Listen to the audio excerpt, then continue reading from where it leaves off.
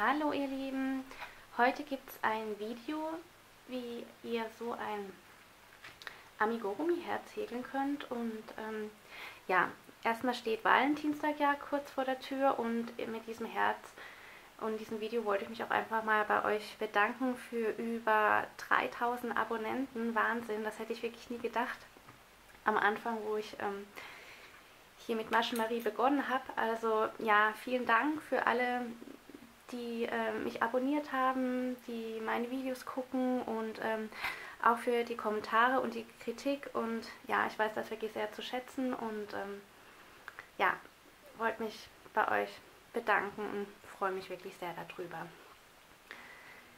Nun zu diesem Herz. Ähm, dafür ähm, braucht ihr eine Häkelnadel. Was für eine Größe ist eigentlich egal wenn ihr jetzt eine größere Wolle habt oder eine dickere und eine größere verwendet, dann wird das Herz größer. Je kleiner die Wolle ist und je kleiner die Häkelnadel, wird das Herz dann dementsprechend kleiner.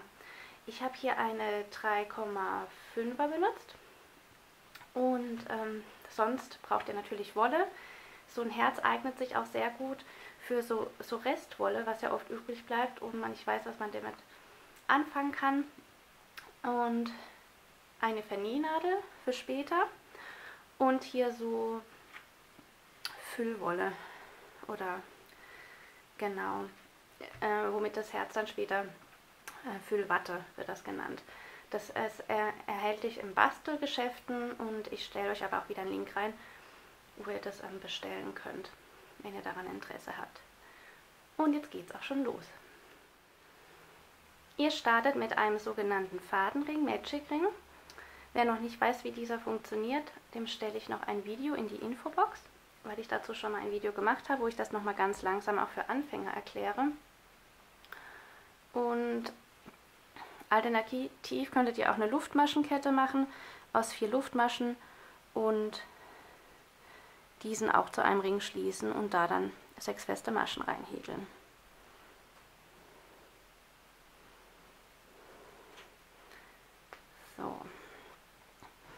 In diesen Luftmaschenring häkel ich jetzt sechs feste Maschen. Dafür gehe ich hier rein, hole mir den Arbeitsfaden, habe jetzt zwei Schlingen auf der Nadel und masche diese beiden ab. So habe ich eine feste Masche gehäkelt. Eins, zwei, drei, vier, 5 und 6. Der wird geschlossen, indem ich hier an diesem kurzen Faden ziehe. Ich ziehe hier immer gern zurück. 1, 2, 3, 4, 5, 6 und steche jetzt hier in meine, meine erste feste Masche vom Anfang ein.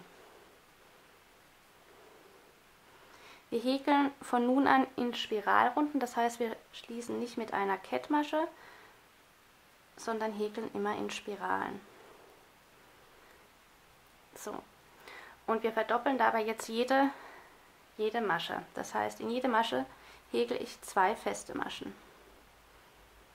In diese häkel ich jetzt eine feste Masche und dann in die gleiche Masche gehe ich rein und häkel noch eine. So verdoppel ich jede der sechs Maschen und habe dann am Ende sechs feste, äh, zwölf feste Maschen. Zählt da ruhig mit am Anfang. Drei, vier. In die nächsten wieder zwei.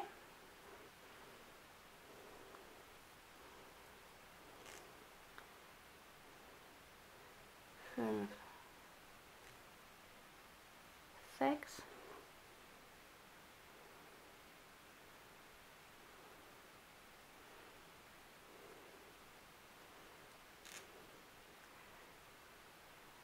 Sieben,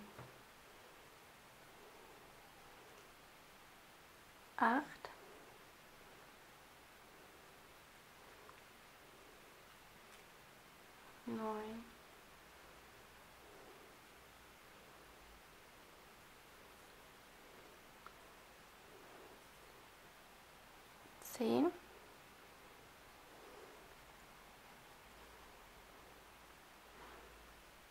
und in die letzte noch die elfte und die zwölfte.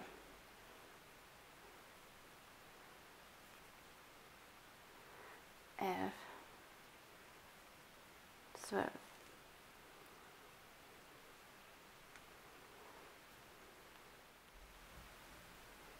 Wir haben jetzt hier eine Runde aus zwölf festen Maschen und in der zweiten Runde wird hier die zweite Masche verdoppelt, sodass wir am Ende 18 feste Maschen haben.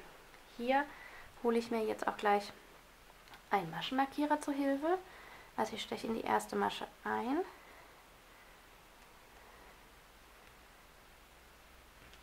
Und diese markiere ich mir mit so einem Maschenmarkierer. Und in die, also nächste, die wird verdoppelt, jede zweite Masche. Das heißt hier häkel ich jetzt zwei feste Maschen rein, so dass sich ein Kreis bildet. Also das Herz wird zur Information von oben nach unten gehäkelt. Wir häkeln jetzt erstmal zwei Häubchen. In die nächste wieder eine feste Masche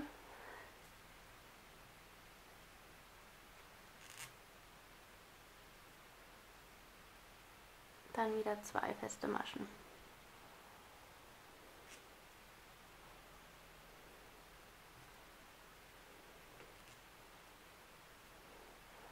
Dann wieder eine feste Masche und zwei feste Maschen.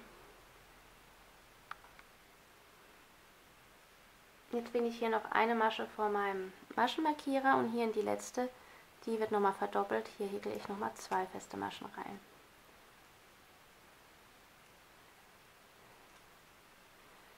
Dann kann ich meinen Waschmarkierer rausnehmen.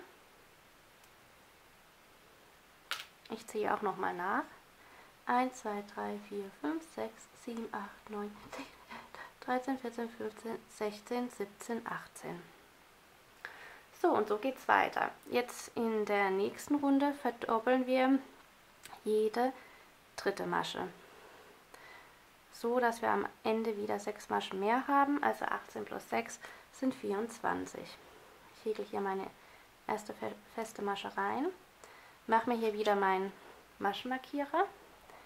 Ihr könnt alternativ auch ein andersfarbiges Garn dafür verwenden. Hauptsache ihr erkennt, wo euer Rundenanfang ist. Also eine feste Masche, in die nächste auch eine feste Masche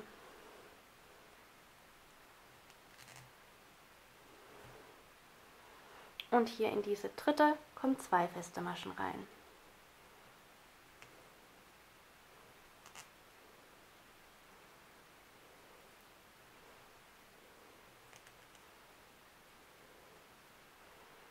Und so geht das dann weiter.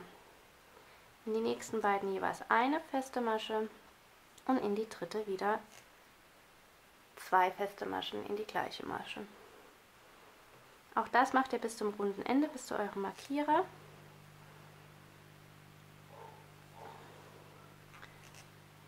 Und habt dann am Ende 24 feste Maschen. Nun habt ihr insgesamt 24 Maschen im Kreis gehäkelt und jetzt gibt es keine Zunahmrunden mehr, sondern wir häkeln einfach drei Runden, nur diese 24 Maschen im Kreis denkt immer dran, dass ihr euren Maschenmarkierer versetzt. Also ich mache den jetzt hier wieder auf.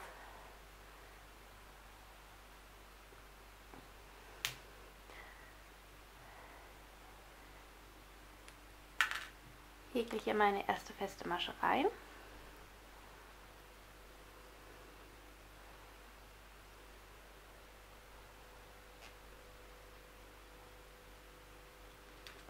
und setze mir den Markierer wieder.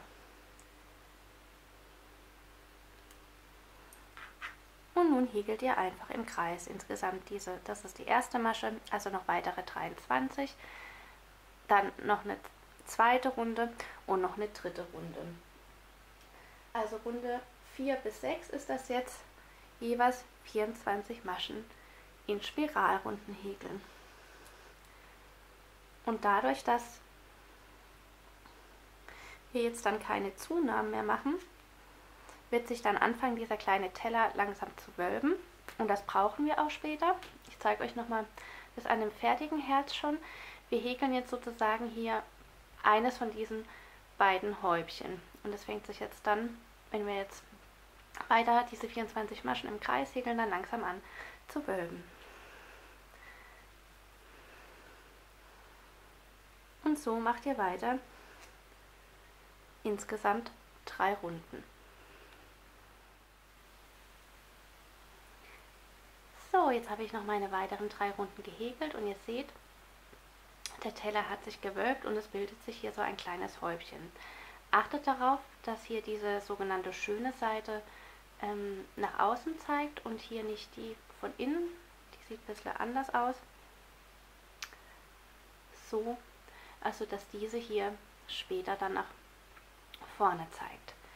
Hiermit ist auch das erste Häubchen fertig und wir können den Faden abschneiden.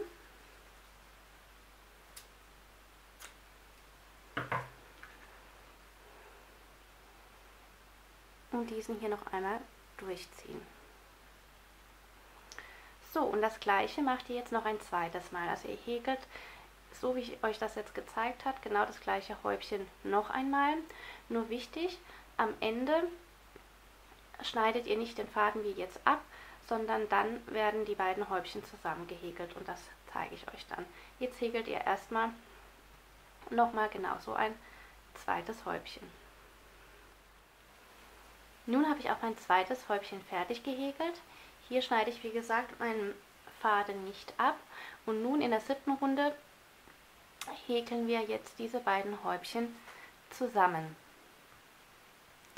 Dafür legt ihr die mit der Außenseite nach außen, mit der schönen Seite, so nebeneinander, so dass Häubchen an Häubchen ist und stecht jetzt jeweils hier in die erste Masche ein und auf dem, bei dem anderen Häubchen hier in die, in die erste Masche von der nächsten Runde. Da wird so eingestochen.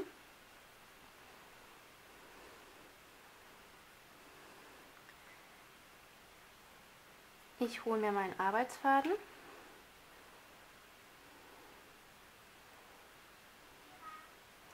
So sieht das Ganze jetzt aus. Und häkel einfach eine feste Masche. Arbeitsfaden holen. Und das ist meine erste feste Masche.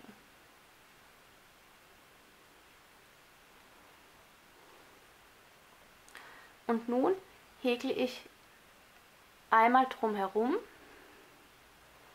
so dass ihr am Ende insgesamt, wir haben ja pro Häubchen äh, 24 Maschen, am Ende insgesamt 48 Maschen habt. Es kann sein, dass ihr vielleicht auch zwei mehr oder zwei weniger Maschen insgesamt habt. Ähm, das ist aber weiter nicht schlimm. Ich zeige euch dann später, wie das mit den Abnahmen geht. Also jetzt einfach hier drumherum häkeln.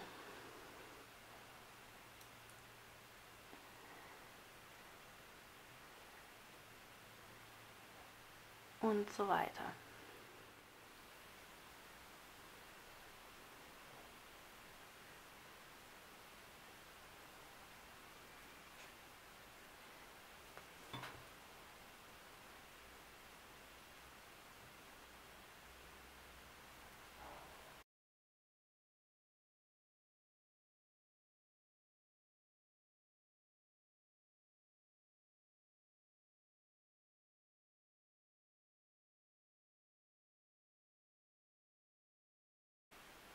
So, jetzt bin ich bei Nummer 21, 22, 23.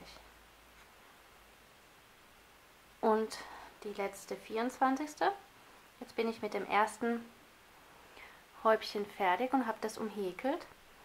Und nun wird hier in diese Masche, in die erste Masche vom nächsten Häu äh, ähm, von der nächsten Häubchen eingestochen. Da ist er noch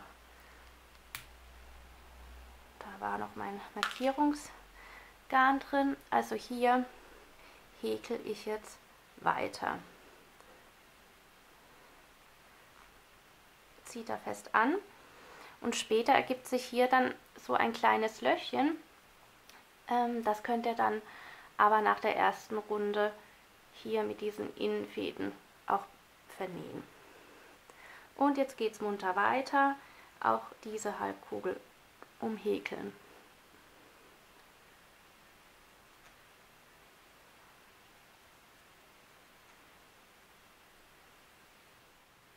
Nun bin ich hier am Ende bzw. Anfang von meiner Runde wieder angelangt. Ich hatte mir hier noch einen Maschenmarkierer eingesetzt. Und da häkle ich jetzt wieder meine erste Masche rein. Und ihr solltet jetzt, wie gesagt, so insgesamt 48 Maschen haben. Na, komm raus. Und jetzt geht es hier weiter, indem er noch einmal komplett eine ganze Runde rumhegelt. Hier setze ich mir wieder meinen Maschenmarkierer rein.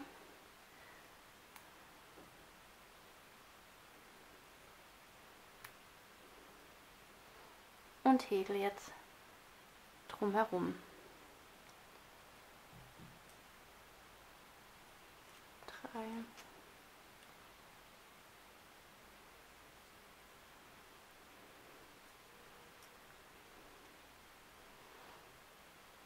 Und das macht ihr auch komplett eine ganze Runde. So, ich bin jetzt hier wieder eine Masche vor meinem Maschenmarkierer. Lege ich noch eine letzte feste Masche rein.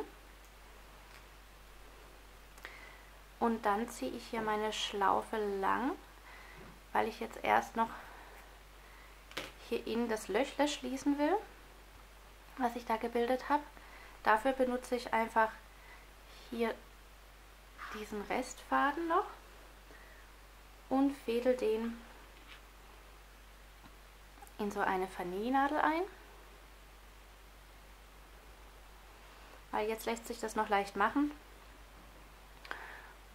Und gehe jetzt hier durch die Maschen, um das kleine Löchle zu schließen.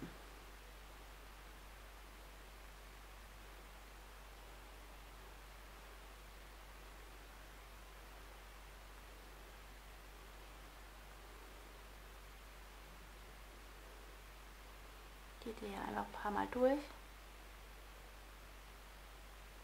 so dass sich die Lücke schließt.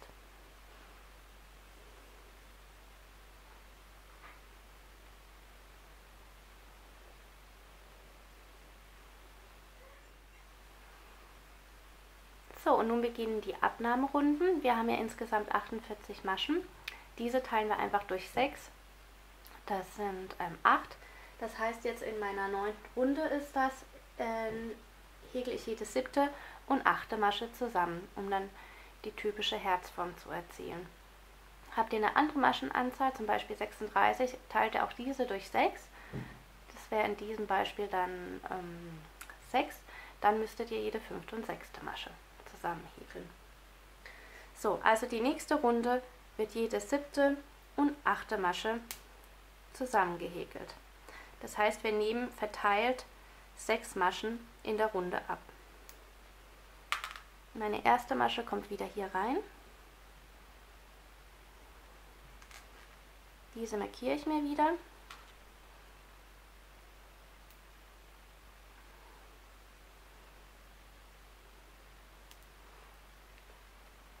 Eins, zwei,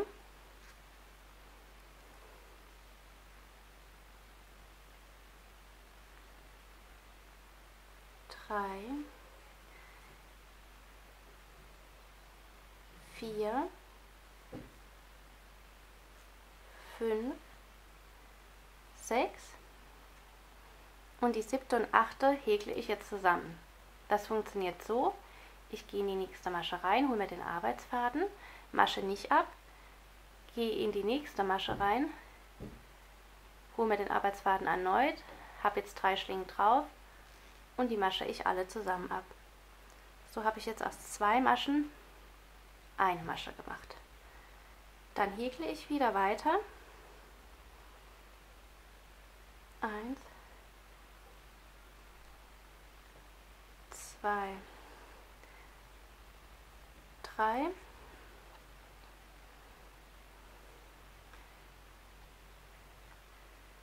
vier, fünf, sechs und die siebte und achte wird wieder zusammengehäkelt. Ich gehe hier rein, hole mir den Arbeitsfaden, gehe in die nächste Masche auch rein und masche alle drei Schlinge auf einmal ab. Und das die komplette Runde. Immer sechs Maschen häkeln und die siebte und achte werden zusammengehäkelt. Komplett bis ihr wieder hier am Anfang seid.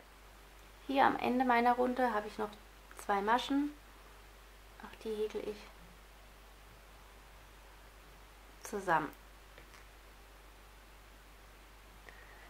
So, dann kommen wir zu der nächsten Runde, Runde 10. Wir haben ja jetzt äh, sechs Maschen reduziert, das heißt von 48 auf, auf 42 Maschen. Ihr könnt jetzt einfach wieder durch 6 teilen. Das gibt ja 7, das heißt in unserer zehnten Runde nehmen wir jede sechste und siebte Masche ab. Das heißt, die sechste und siebte Masche werden zusammengehäkelt, sodass wir am Ende 36 Maschen haben. Ich setze hier wieder meinen Markierer um.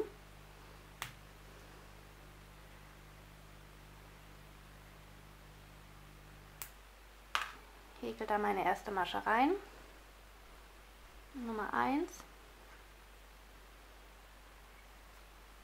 Markiere mir diese.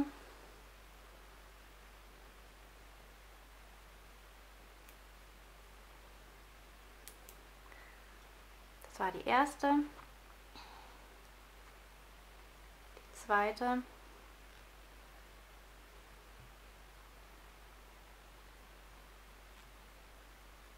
Drei.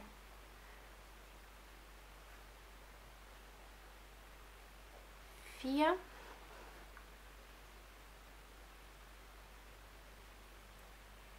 Fünf und die sechste und siebte wieder zusammen.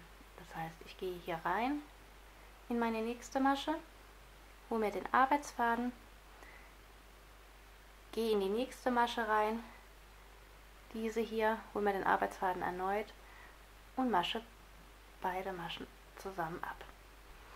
Und so auch wieder eine komplette Runde, jede sechste und siebte Masche zusammenhäkeln. Und ich bin schon wieder am Ende der Runde. Nun folgt die Runde Nummer 11. Wir haben jetzt auf 36 Maschen reduziert, weil wir ja immer sechs Maschen verteilt abnehmen. In der elften Runde häkelt ihr jetzt jede fünfte und sechste Masche zusammen. Also das funktioniert genau wie vorhin auch. Und in der zwölften Runde häkelt ihr dann jede vierte und fünfte Masche zusammen. Also jetzt diese Runde jede fünfte und sechste Masche zusammen. Dann habt ihr insgesamt wieder äh, weniger, also 30 Maschen und dann in der zwölften Runde jede vierte und fünfte, so dass ihr am Ende 24 Maschen habt. Und dann sehen wir uns wieder. Ich bin jetzt mit meiner zwölften Runde fertig und nun ist es an der Zeit, unser Herz schon mal anfangen zu füllen, weil später wird es dann auch immer enger. Dazu nehmt ihr wie gesagt hier diese Füllwatte und stopft die hier in diese Ecken gleichmäßig rein zieht die Schlaufe ein bisschen lang, dann könnt ihr euer Ende von der Häkelnadel auch zum Stoppen verwenden.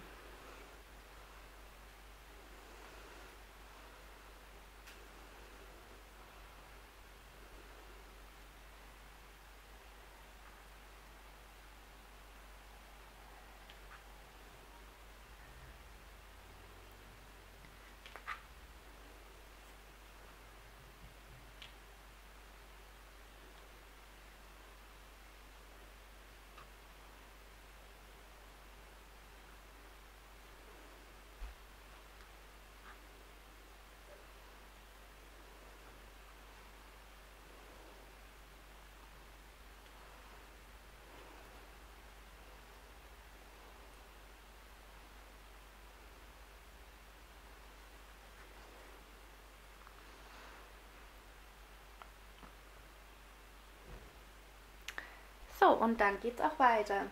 Nun haben wir insgesamt 24 Maschen drauf und ab jetzt nehmen wir immer nur drei Maschen verteilt ab. Das heißt jetzt in der 13. Runde, wir teilen unsere 24 durch 3, das gibt hier 8. In der 13. Runde nehme ich jetzt jede siebte und achte Masche ab und reduziere somit von 24 auf 21 Maschen.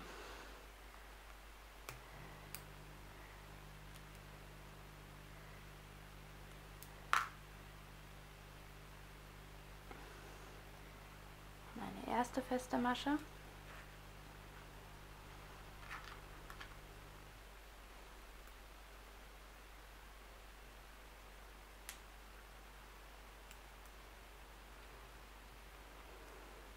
eins,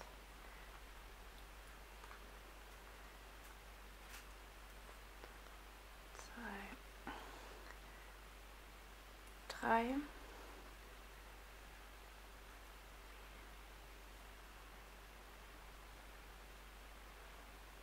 fünf, sechs und die siebte und die achte.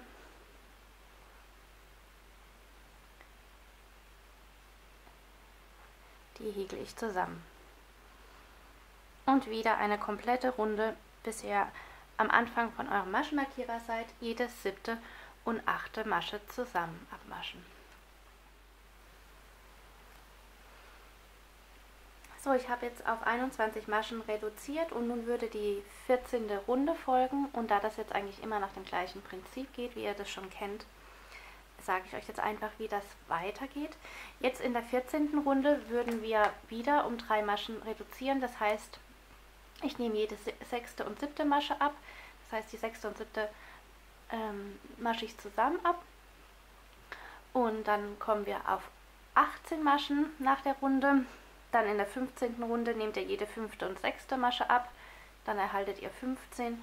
In der 16. Runde wird jede vierte und fünfte Masche abgenommen dass ihr am Ende zwölf Maschen in der Runde habt. In der 17. Runde jede dritte und vierte Masche zusammen. Dann habt ihr am Ende neun. In der 18. Runde jede zweite und dritte Masche. Dann habt ihr am Ende sechs. Und die letzte Runde, da wird dann jede immer die zwei Maschen zusammen abgemascht, so dass ihr am Ende drei Maschen habt. Bis dahin hegelt ihr jetzt immer in diesen Runden und dann zeige ich euch noch, wie das Herz dann fertig aussieht und wie ihr das beendet. Ach ja, und noch ganz wichtig, das darf ich nicht vergessen zu sagen, natürlich füllt ihr immer wieder durch, äh, zwischendurch mit dieser Watte nach, also ihr häkelt in Runden und immer wieder zwischendurch macht ihr dann ein Stück von dieser Füllwatte in das Herz rein, damit sich dann auch diese Form bildet. Also dann bis gleich. So, ich bin jetzt am Ende angelangt.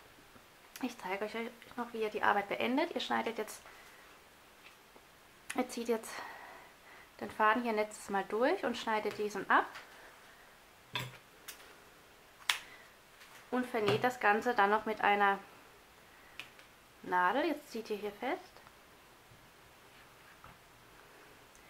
fädelt das Endstück ein.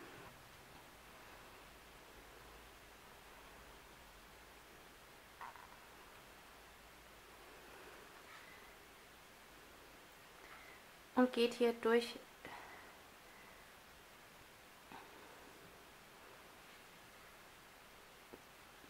durch diesen Körper vom Herzen durch. So, dann geht ihr nochmal durch und sticht woanders aus.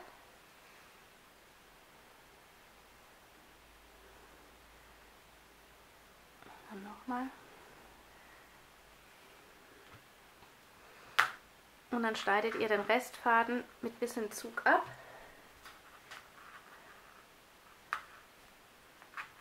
so dass dieser im im Herz verschwindet. Dann formt ihr das noch und fertig ist euer selber gehäkeltes Herz. Ich wünsche euch ganz viel Spaß beim Nachhäkeln. Bis bald, eure Maschenmarie.